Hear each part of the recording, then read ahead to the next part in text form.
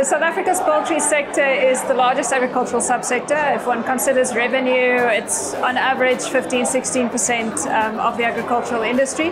Um, its absolute value is in excess of 50 billion. Um, of course, it's got many other factors where it contributes as well. It's quite an integrated value chain, so it's a big off-taker in the feed market. One considers commercial feed, broilers alone consume around 50% um, of the feed produced in South Africa. If you add layers to that, you get in excess of 60%. Um, it's a major employer, more than 50,000 people employed directly, and then, of course, in these other industries that are related to it, you have significant employment as well. Um, mainly dominated by large scale commercial producers. Um, also, many smaller producers contribute. They're a small share of total production because of their scale, but there's more than a million households active in poultry production, so it's got a wide footprint.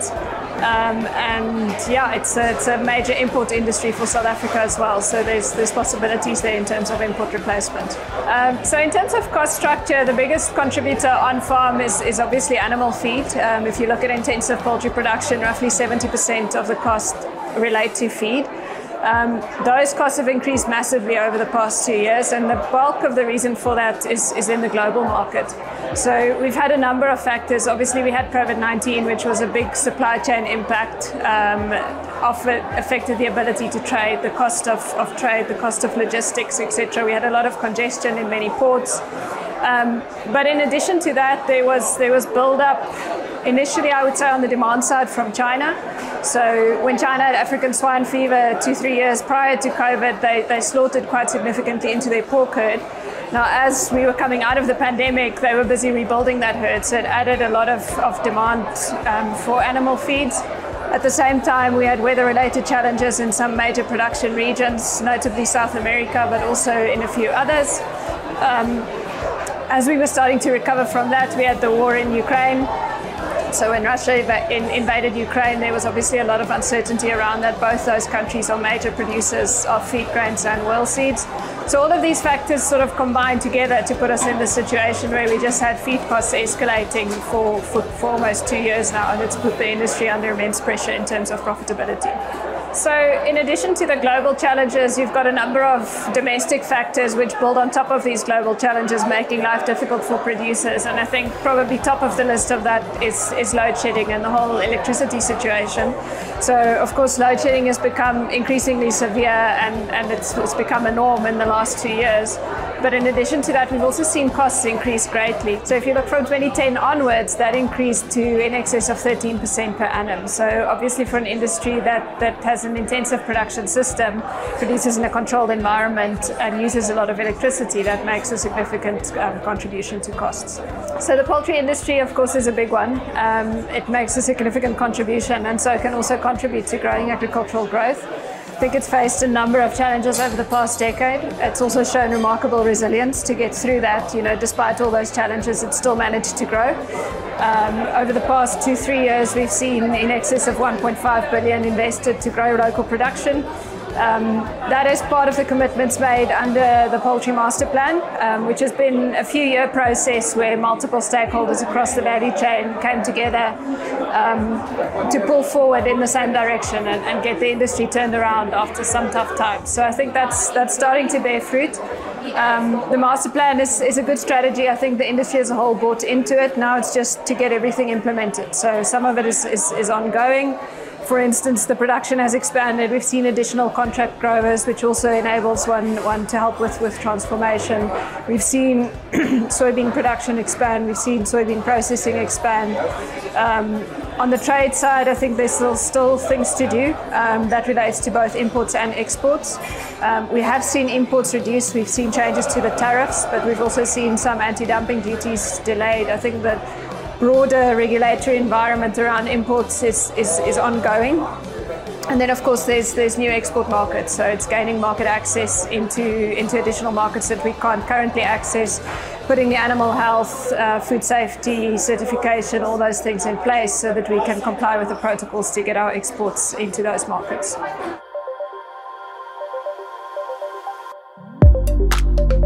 Suid-Afrika se landbousektor uh is in die stadium baie gesonde voet ten spyte van 'n uh, magdom uitdagings rondom weerkrag Ek kry die besproeiingsboere geweldig jammer uit die aard van die saak uit, maar ook in die algemeen, veral oor die die swak paaie in die noordelike provinsies. Ehm um, spoorlyne, die halwe probleme wat ons gehad het met die sitrus en selfs die wol hierdie jaar. Maar dit is kerngesond. As ons kyk na ons landbouproduktiwiteit, die ehm um, top 5 gewasse se ehm um, opbrengs die laaste 5 jaar gedeel deur die kapitaal wat benodig is om dit te produseer, is dit van die hoogste in die wêreld. En de, uh, ons sien ook dat wat die opbrengste van die somergewasse betref, lyk dit asof ons weer baie naby aan verlede jaar se oeste gaan kom en dit was 'n goeie jaar. Die sojabone klim baie mooi. Pryse is natuurlik nie te sleg nie. Die die opbrengs per hektaar is ook nogal redelik goed. Ons was bekommerd na 'n bietjie baie reën. Ehm maar dit dit lyk heeltemal goed. Ehm um, dit is jammer natuurlik dat die regering nie ook in die begroting vir landbou spesifiek meer aansporings gegee het om hernubare energie of alternatiewe energie uh in werking te stel om daarom net so 'n bietjie kosteverligting want dit is een van die groot probleme op die oomblik is die die toenemende koste in die landbou. Uh indien mense kyk na die landbousektor se bydrae tot toegevoegde waarde tot die BBP in Suid-Afrika is baie konstant. Die rondom 2,5%. Daar is slegte jare gewees met droogtes met hierdie uh vieslike ding wat hulle noem uh El Nino. La Nina is baie mooier en baie beter, maar ons het nou daarom redelike La Nina jare gehad en ehm um, die toegevoegde waarde in landbou het ehm um, vanjaar het hy uh, in 2022 die nuwe nuutste BP syfers wat nou net uitgekom het sy hoogste vlak nog ooit bereik. Hy het verlede jaar sy rekord net net verbeter. Uh wat natuurlik baie goeie nuus is, maar dan die die uitstaande prestasie van landbou. Uh saam met voedselverwerking is die 200 miljard rand uitvoere van van 2022. Dit is 'n ongekende uh, rekord. En ons is natuurlik ook die mees voedselseker land in Afrika. Ons het by Tunesië verbygesteek verlede jaar en ons hoop maar net ons kan dit ehm um, daai posisie handhaaf. Ons is nommer 1 in Afrika. Dis ehm uh, dis nou nie nommer 1 in die wêreld nie, maar dit is te bad. Ja, die BBP syfers ehm um, is pas gepubliseer en daar's da party siniese ekonome wat wat nou al voortydig voorspel jy gaan 'n resessie kom. Nou, daar is 'n kans, maar ons weet nie want 'n resessie vind plaas as jy twee agtereenvolgende kwartaale gehad het van negatiewe groei en ons het nog net een gehad nou. En dit was ook maar net net onderdeur wat ons moet op fokus is die 2022 groeikoers in ons BBP. 2% reëel. Dis nie sleg nie. Teen die agtergrond van beerdkrag, die oorlog in Oekraïne, die uh, hawens wat gesluit was uh, oral in die wêreld, uh, hoër inflasie, hoër rentekoerse wat waarskynlik ons grootste enkele probleem is, is die hoë rentekoerse. Dit was nie nodig vir die reservebank om rentekoerse te verhoog nie. Maar die ekonomie bly kerngesond.